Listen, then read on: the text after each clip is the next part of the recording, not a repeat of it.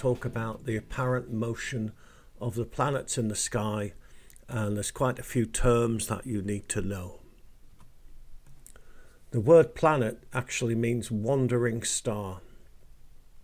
Lots and lots of stars in the sky, in constellations, and all of these stars stay in the same place, at least in our lifetime. They will stay in the same place on the celestial sphere. There are some stars that will wander across the sky, uh, well, because they're not stars, they are planets. And they will wander across the sky, staying close to the ecliptic, and they'll move relative to all the stars on the celestial sphere. On this diagram, we can see uh, Venus moving through Aquarius, and these two images represent the position of Venus about a weaker part. The ecliptic, as I've talked about in one or two other videos, is the path of the sun throughout the sky as viewed from the Earth. The, the blue line is the celestial equator, which is above the Earth's equator, and then this red line is the ecliptic, which is the path of the sun. And notice on here, at, at this time, there's quite a few planets which are quite close to the sun. There's a bit of a bit of a conjunction going on. Uh, the planets will stay pretty close to the ecliptic. The ecliptical plane is the, the plane of the solar system our solar system is, is pretty flat, and if you imagine a, a flat disk with the sun in the middle of the disk, uh, and then the Earth is on that disk, then that is the ecliptical plane. And all of the other planets will be pretty close to the ecliptical plane. Some of their orbits may be slightly tilted by about one or two degrees. Mercury's orbit is about six degrees but they're, they're, usually pretty close to the ecliptic. That's where you would expect to find them. Notice on the Earth here, I've drawn the, the tilt of the Earth and its equator, and that kind of explains why the ecliptic is at 23.5 degrees to the celestial equator. There are quite a few terms that you need to understand. Um, first of all, there are inferior planets. Mercury and Venus are inferior because they are closer to the Sun than Earth. Mars, Jupiter, Saturn, they are superior. They are further than Earth from the Sun. So, superior and inferior planets. Retrograde motion is when a superior planet appears to move backwards. On this animation, we can see Mars moving backwards. It, it actually takes a couple of months to do this. Um, why do these planets appear to move backwards? And it now we know it's not as Ptolemy suggested that they move in epicycles. We know that it's because the Earth is moving faster in its orbit than these planets. And as the Earth overtakes the planet, then the planet appears to move backwards. Just as if you imagine you're in a, a fast train overtaking a slower train which is moving in the same direction, then the slower train would appear for a while to be moving backwards. And that's retrograde motion.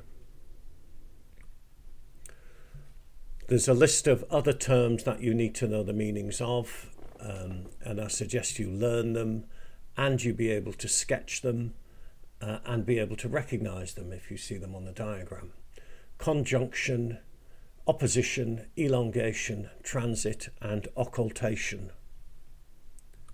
Conjunction, well, uh, imagine conjoined twins are, are kind of stuck together. Well, a conjunction of celestial objects is when they appear close together in the sky, a conjunction. Um, there's a couple of special conjunctions that we need to know a superior conjunction and an inferior conjunction.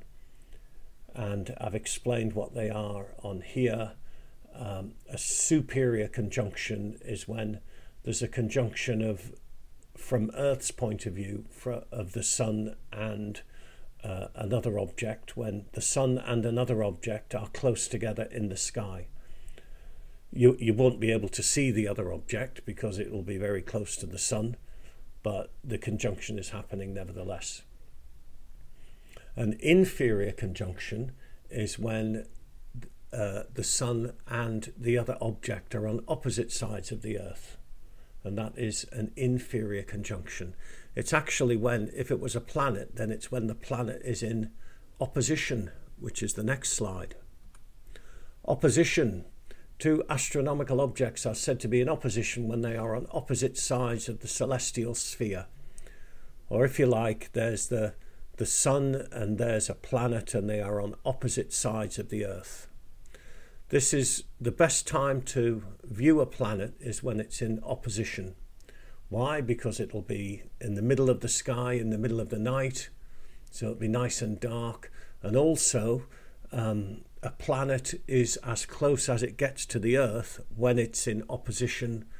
So it'll be as big as it gets, and it'll be nice and dark. And if you want to see a planet, the best time to do it is when it's in opposition. Then there's a, a picture of Jupiter in opposition. Elongation, remember that elongation is an angle. And it's the, the angle viewed from Earth, the angle that uh, a planet or another object makes with the Sun as viewed from Earth. Uh, the term the greatest elongation refers to Venus or Mercury, to inferior planets, and it's the biggest angle that either Venus or Mercury makes with the Sun. The greatest elongation of Venus is about 45 degrees. The greatest elongation of Mercury, somewhere between 18 and 28 degrees. Um, it, and it varies because the because the planets are the orbits are elliptical. Interesting to note that because uh, Venus and especially Mercury are relatively close to the Sun, then when do we see them? Well, we will see them either just after sunset or just before sunrise. If you get up early in the morning and you see uh, a very bright star somewhere to the east just before sunrise, it's probably not a star, it's probably Venus. Venus is often referred to as the morning star because it's big and bright, not high in the sky, but um, big and bright in the sky just before sunrise, very often. A transit is when an object passes in front of a, a larger object as viewed from Earth. This is a, transit of Venus transits of Venus are, are very important. It's, it comes up again in another topic. They're very rare, they're about once every hundred years, and takes about six hours for Venus to pass across the face of the Sun.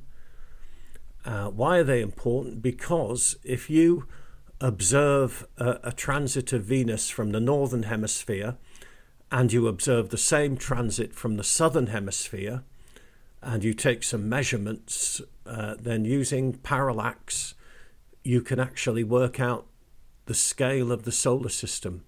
You can work out how far away the, the Earth is from the Sun, and if you know that, then you know how far away all of the other planets are from the Sun.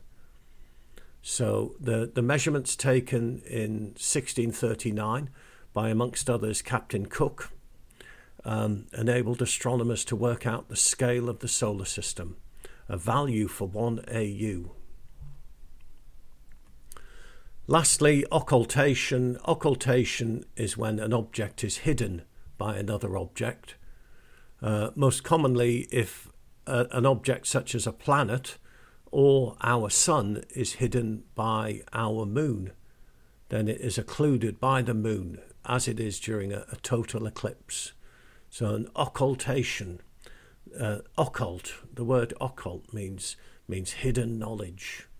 Scientists used to be very secretive about what what they knew, and uh, people were very suspicious of scientists because of their, their hidden knowledge. And it was was it the black arts? Were they doing evil things? No, they were just being a bit bit stingy with their knowledge. But an occultation is when one object is hidden by another object.